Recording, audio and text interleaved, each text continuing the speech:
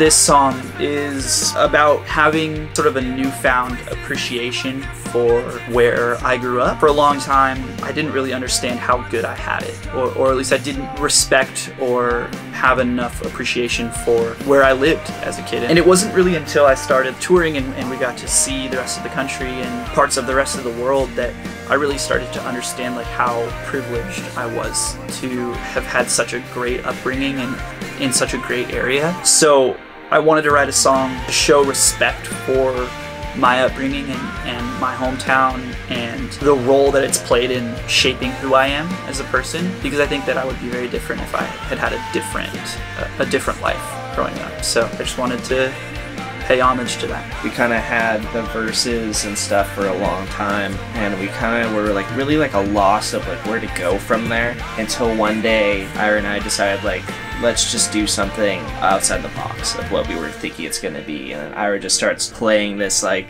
really kind of harder sounding chords and stuff. We're like, okay, like let's just roll with that. This was like one of the first songs that Austin brought to the table guitar wise, and it was just cool for me to hear it as an outside perspective and elevate it and write right to the rest. And then it just spurred the inspiration for the rest of the song. Honestly, one of my favorites sonically. I think there's just a lot of really good leads and memorable parts in this song and the vocals are just inspiring to me and really hit home. It has like a very uh, feel good vibe to it which I don't think a lot of the songs on this record do. I think it's a really dark record, so I think it's nice that we have this contrast in there. Every time I listen to it, it makes me happy, which is cool because a lot of our songs like aren't that way. So I think this is a refreshing song on the record.